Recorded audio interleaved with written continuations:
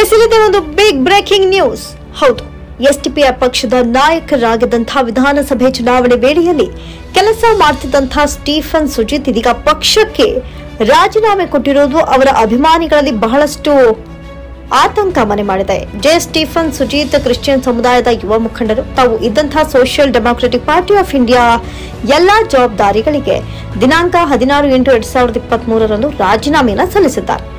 ಇನ್ನು ರಾಜೀನಾಮೆ ಪತ್ರವನ್ನ social democratic party of India ಜಿಲ್ಲಾಧ್ಯಕ್ಷರಾದಂತಹ Shri Rafat Ulla Khan ಅವರಿಗೆ ನೀಡಿದ್ದಾರೆ ಅಂತ ಮಾಧ್ಯಮ ಪ್ರಕಟಣೆಯಲ್ಲಿ ಅವರೇ ತಿಳಿಸಿದ್ದಾರೆ. ಇನ್ನು ಸ್ಟೀಫನ್ ಸುಜೀತ್ ಅವರು ಚುನಾವಣಾ ಸಮಯದಲ್ಲಿ ಶ್ರಮಿಸಿದ ಪಕ್ಷಕ್ಕೆ ಇದೀಗ ರಾಜೀನಾಮೆ ಕೊಡೋದಕ್ಕೆ ಪ್ರಮುಖ ಕಾರಣ ಏನು ಅನ್ನೋದು ಇದೀಗ ಸಹಜವಾಗಿಯೇ ಮೂಡ್ತಾ ಇರುವಂತಹ ಪ್ರಶ್ನೆಯಾಗಿದ್ದು, ಸ್ಟೀಫನ್ ಸುಜೀತ್ ಅವರ ರಾಜೀನಾಮೆಗೆ ಸಂಬಂಧಿಸಿದಂತೆ ಅವ್ರು ಏನ್ ಹೇಳಿಕೆ ಕೊಡ್ತಾರೆ ಇನ್ನಷ್ಟೇ ಕಾದು ನೋಡಬೇಕಿದೆ.